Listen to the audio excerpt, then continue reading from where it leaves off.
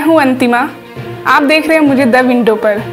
पूरी दुनिया में कोरोना फैलाने के बाद अपनी विस्तारवादी नीति के लिए दुनिया की आँख की किरकिरी बनते चीन के राष्ट्रपति शी जिनपिंग के बारे में अब एक बड़ी खबर आई है कि शी जिनपिंग का तख्ता पलट होने वाला है।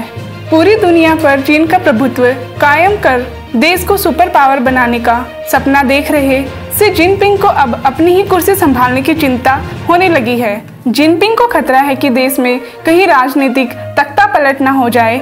इसलिए उन्होंने इस बात को सुनिश्चित करने के लिए कड़े कदम उठाने शुरू कर दिए हैं कि पुलिस ऑफिसर, जज और स्टेट सिक्योरिटी एजेंट की जवाबदेही सिर्फ़ उनके प्रति हो।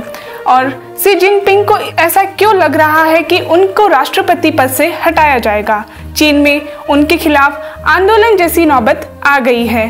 क्योंकि चीन के नागरिक ही पूरी दुनिया में अपनी साख और देश के लिए फैले दुनिया भर के लोगों के गुस्से के लिए जिनपिंग जिम्मेदार हैं।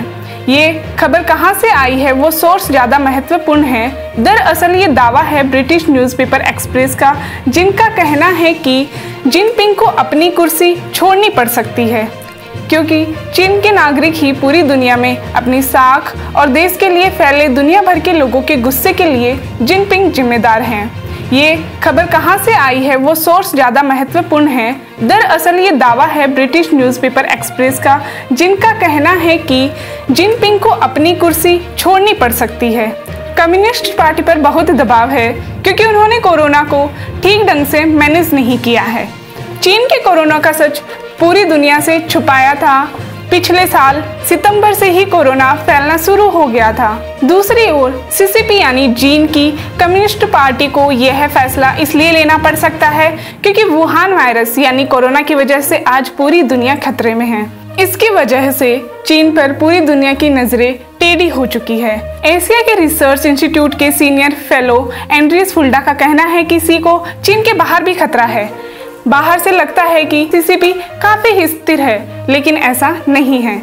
जिनपिंग के कंट्रोल में आने से ताकत का केंद्रीकरण होने के बाद सीसीपी में उथल पुथल शुरू हो गई है।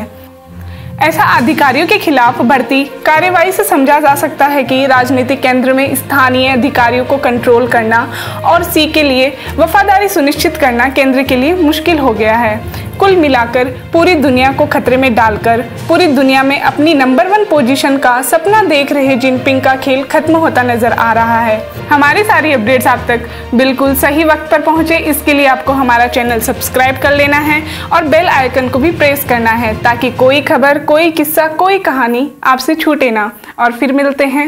शुक्रिया। Please subscribe and don't forget to press the bell icon to get notified we upload a new video